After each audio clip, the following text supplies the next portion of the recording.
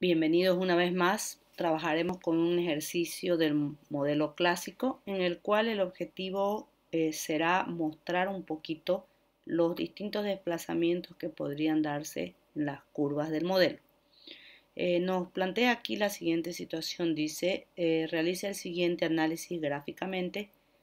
¿Qué sucedería si los sindicatos y la Central Obrera Boliviana pretendieran fijar un salario por encima del de equilibrio?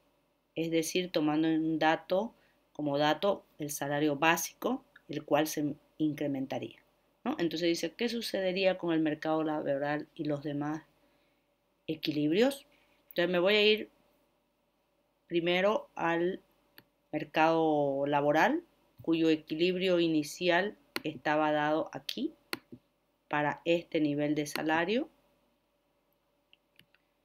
con esta cantidad de trabajo. Entonces, me dice ahí la central pretendiera fijar un salario por encima. Entonces, necesariamente mi salario por encima tendría que estar arriba de este punto, tendría que irse para allá. Y tendríamos como nuevo salario este. Entonces, eso va a tener un efecto, obviamente, en la demanda y un efecto también en la oferta.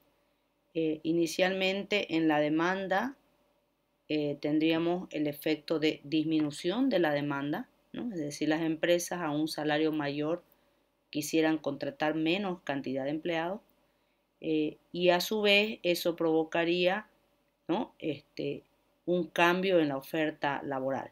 ¿no? Entonces mi nuevo equilibrio se daría aquí, por tanto habría un aumento del salario, pero una disminución en la cantidad de puestos de trabajo vigente.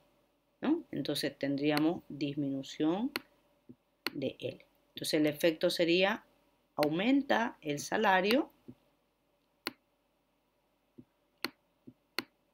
pero a su vez esto provoca una disminución en la cantidad de puestos de trabajo de la economía.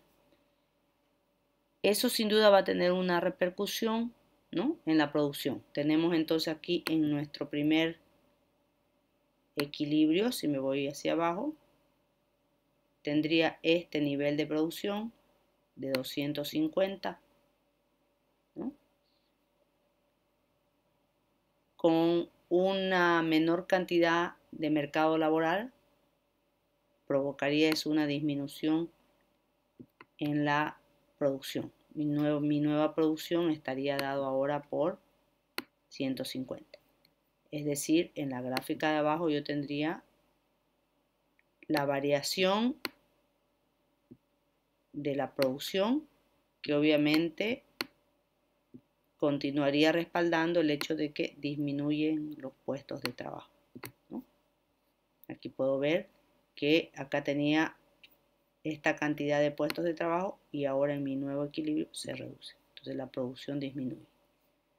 En la tercera gráfica, la del sector monetario, no habría ningún efecto. Y en la gráfica auxiliar, que tiene el sentido de mostrar el desplazamiento del salario, se provocaría sin duda, como dice ahí, un incremento en el nivel de salario. ¿no? Entonces tengo Inicialmente mi salario está fijado acá y una debido a la presión de la COP y otros organismos provocaría eso un aumento de la, del salario, ¿no? Donde se desplaza en sentido opuesto a las manecillas del reloj. Entonces mi nuevo equilibrio a ese mismo nivel de producción estaría dado aquí. Entonces aquí me muestra claramente el incremento en el nivel de salario que se va de aquí, de este punto inicial, aquí, a este nuevo punto, que está dado por esto, produciéndose esta variación.